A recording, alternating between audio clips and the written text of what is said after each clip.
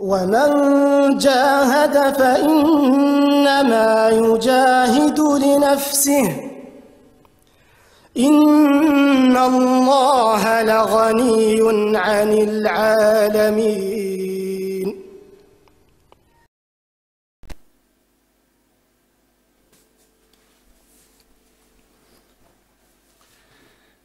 Salam alaikum à tous mes frères et sœurs en islam et belle journée à tous mes frères et sœurs en humanité. Donc aujourd'hui mes frères et sœurs, j'ai le plaisir de vous présenter la 27e vidéo de ma série Mes écrits sur l'islam. Euh, donc aujourd'hui le, texte que je vais vous lire et commenter s'appelle euh, Je le sens dans mon cœur, l'amour vaincra l'intolérance, Inch'Allah.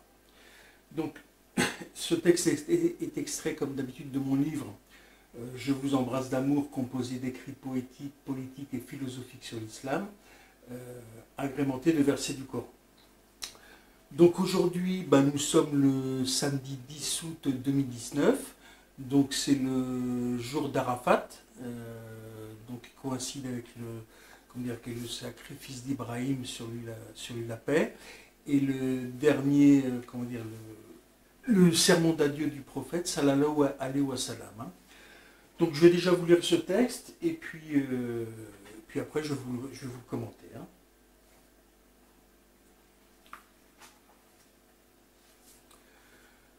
Je le sens dans mon cœur, l'amour vaincra l'intolérance, Inch'Allah. Salam alaikum, la sur vous. Chers frères et sœurs, je le sens dans mon cœur, l'amour vaincra l'intolérance, Inch'Allah. Car Allah a envoyé au monde le sceau des prophètes Muhammad, sallallahu alayhi wa comme une miséricorde. Donc, unissons-nous comme le demande Allah dans le Coran et le prophète sallallahu alayhi wa sallam dans son dernier sermon, et éperdus d'amour, nous établirons sur la terre un monde de paix, de justice et d'amour pour nous et nos enfants, Inch'Allah. Love Action, United People Islamic Union, paix, shalom, salam, pêche, alom, alam. Stéphane Amari. Donc là, maintenant, je vous lis le, verset que j'ai mis à la suite de ce texte. Certes, il vous est venu un envoyé issu de vous, il compatit à ce que vous endurez, il est plein de sollicitude pour vous, car il est toute bonté et toute compassion pour les croyants. Coran Surat At-Tawbah, le repentir, verset 128. Donc voilà mes frères et sœurs, euh, ce texte que je tenais à vous lire aujourd'hui. Euh, alors, moi disons que comme je le dis, je le sens dans mon cœur, c'est que j'ai le cœur plein d'espoir. C'est que le jour, le jour où j'ai découvert l'islam, moi ça a mis un, espoir formidable en moi hein, par rapport à ce monde injuste. Euh, l'islam apporte la solution. Euh, en plus, l'islam, ça veut dire la paix. Donc aujourd'hui, ben, on le voit par rapport euh, dire, au dérèglement climatique, euh, au système économique, aux guerres, etc., qu'on vit vraiment dans un monde euh, d'injustice totale. Euh, en même temps, les musulmans, ben, on est une communauté qui représente 1,5 milliard à 2 milliards de personnes. Et euh, pour l'instant, on n'a aucune influence sur le monde, pas, pas grand-chose. Hein. Donc les peuples musulmans sont opprimés, euh, la Palestine est occupée depuis 70 ans, vous avez des musulmans qui sont opprimés, comment dire, en Birmanie, en Chine, etc. nos sœurs voilées en France n'arrivent pas à trouver de, travail, ce qui est complètement illogique, puisque au contraire, un employeur devrait dire ah bah voilà une musulmane, je peux lui faire confiance justement pour lui confier un travail, je sais que c'est des gens honnêtes, etc. Mais non, une personne, une femme qui est, voilée a beaucoup de mal à, trouver du travail. Donc vous avez quelque chose qui est complètement, euh, complètement illogique.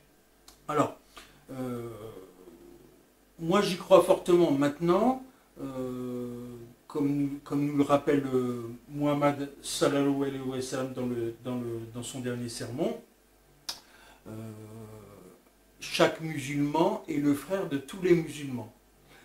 Donc ça, je pense que c'est parce qu'on ne respecte pas ce que nous a dit le prophète sallallahu alayhi wa sallam et Allah dans le Coran avec par exemple le, dans le verset de euh, et ne vous divisez pas.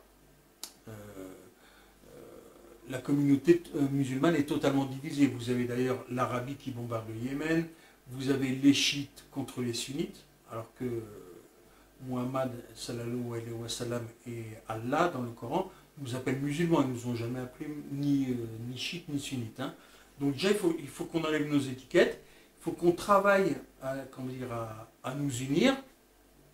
Et à partir de ce moment-là, nous pourrons établir la paix, la justice et l'amour sur terre. Euh, Inch'Allah. Donc ça, euh, vraiment, moi je le sens dans mon cœur, comme beaucoup de musulmans le sentent dans leur cœur.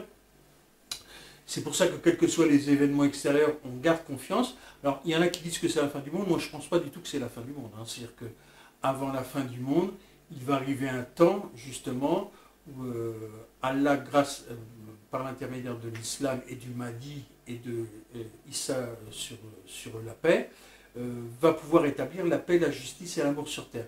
Mais pour ça, il faut qu'on y mette du d'autre. C'est-à-dire qu'il ne faut pas qu'on attende le Mahdi ou Jésus sur la paix.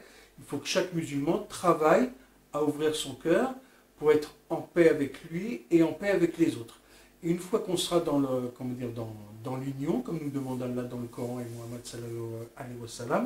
là nous, nous allons pouvoir euh, établir la paix, la justice et l'amour sur la terre pour nous et nos enfants et quitter donc ce monde, de, comment dire, de, ce monde d'injustice géré par les illuminations capitalo-sionistes euh, qui sont au bout de leur histoire. hein. Euh, donc là, c'est vraiment à l'islam de prendre le relais et de retrouver la, de trouver la grandeur euh, qu'Allah lui a promis. Alors, ça, c'est pas, disons, une vue de l'esprit ou une vue du cœur que je, vous dis. C'est marqué à plusieurs reprises dans le Coran. Alors, je vais vous lire un verset qui confirme ce que je vous dis. C'est le verset 33 de la sourate At-Tawbah.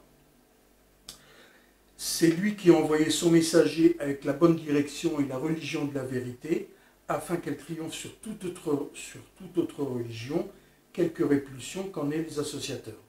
Donc voilà. Donc c'est-à-dire que l'islam va vaincre. L'islam va vaincre, c'est-à-dire que la paix va vaincre et que nous allons pouvoir euh, établir un islam comme au temps de Médine où les gens vivaient en harmonie ou au temps d'Andalous où les gens vivaient en, harmonie. hein. Alors vous avez un autre texte, euh, donc c'est un hadith euh, rapporté par Oudeifa et Ahmed, où le prophète sallallahu alayhi wa sallam a dit je, je séjournerai parmi vous le temps qu'Allah aura prescrit, vous vivrez ensuite une gouvernance prophétique le temps qu'Allah aura prescrit, à cette dernière succédera un pouvoir héréditaire le temps qu'Allah aura prescrit, vous connaîtrez ensuite la dictature le temps qu'Allah aura prescrit, enfin s'établira un pouvoir bien guidé ayant une conduite prophétique, puis le prophète sallallahu alayhi wa sallam s'est tu. Donc vous voyez mes frères et sœurs, la phrase vous connaîtrez ensuite la dictature le temps qu'Allah aura prescrit, bah, ça c'est l'époque qu'on vit à l'heure actuelle, hein, même en France où on pouvait croire qu'on vivait plus ou moins dans un système démocratique, on s'aperçoit que c'est un, pouvoir dictatorial hein, qui est soumis aux puissances de l'argent et où le peuple n'a rien à dire. Si vous dites quelque chose le samedi et que vous mettez un gilet jaune, on vous tire dans, on vous tire dans les yeux. hein. Euh, on va nous faire manger n'importe quoi avec le CETA, là ils vont nous faire manger du bœuf aux hormones. Qu'Allah nous préserve, nous musulmans, nous mangeons de la viande halal et normalement cette viande est, contrôlée. Euh, mais c'est un peu n'importe quoi. Donc vraiment mes frères et sœurs, là, en ce jour d'Arafat, c'est un jour très important. Ce n'est pas seulement un jour où il faut jeûner, c'est un jour où il faut méditer le sens de l'islam, à quoi ça doit nous, ça doit, pourquoi, pourquoi les, pourquoi Allah a envoyé le, prophète sallallahu alayhi wa sallam comme miséricorde pour l'univers? C'est qu'Allah, comme je l'ai dit dans une autre vidéo, nous a donné le libre arbitre, mais il ne nous laisse pas à notre sort. Il nous apporte son aide. Et son aide, c'est le Coran et le, comment dire, Muhammad sallallahu alayhi wa sallam. Donc en suivant l'exemple du prophète sallallahu alayhi wa sallam, c'est-à-dire en ouvrant nos cœurs, nous allons nous unir et établir euh, dire, la paix, la justice et l'amour sur terre pour nous et nos enfants, Inch'Allah. Donc mes frères et sœurs, ben, je vous souhaite une bonne journée d'Arafat. Et euh, je, vous dis- je dis salam alaikum euh, à tous mes frères et sœurs en islam. Belle journée à tous mes frères et sœurs en, en humanité. Bonne fête de l'Aïd demain le dimanche euh, 11 août. Et je vous ai donné des avis et conseils, mais bien sûr Allah est le plus savant. Euh, Qu'Allah nous préserve et que nous puissions établir la paix, la justice et l'amour sur terre pour et nos enfants, Inch'Allah.